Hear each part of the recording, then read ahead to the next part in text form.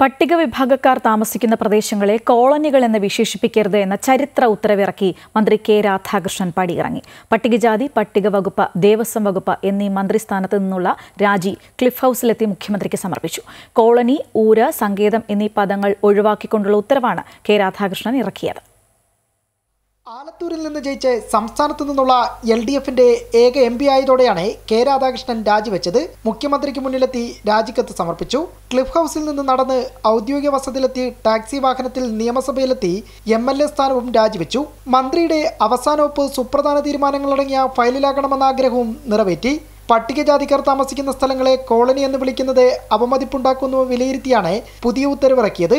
Colony ഊര് സങ്കേതം എന്നിവയ്ക്ക് പകരം നഗർ ഉന്നതി പ്രകൃതി എന്നിങ്ങനെ ഉപയോഗിക്കും. അത് അതിന്റെ കുമ്പഞ്ചാണ്ടി കോളനി എന്നുള്ളത് മാറും കോളനി മാറും. നിലവിലുള്ള വ്യക്തികളുടെ പേരിലുള്ള പ്രദേശമുണ്ടല്ലോ അത് അതുപോലെ തുടരും. പക്ഷെ കോളനി ആവില്ല കോളനി മാറ്റും. ഏതെല്ലാം വ്യക്തികളുടെ പേരിൽ കോളനി ആയിട്ട് അറിയപ്പെടുന്ന ആ കോളനി എന്നുള്ളത് പോവും. ഏറ്റെടുത്ത ദൗത്യങ്ങൾ കൃത്യതയോടെ ചെയ്തു തീർത്തുന്ന സംതൃപ്തിയോടെയാണ് പുതിയ കർമ്മമണ്ഡലത്തിലേക്ക് ഈ മാസം ഇരുപത്തിരണ്ടിന് കെ രാധാകൃഷ്ണൻ വണ്ടി കയറുക. ഇരുപത്തിനാലിനാണ് എം പിമാരുടെ സത്യപ്രതിജ്ഞ.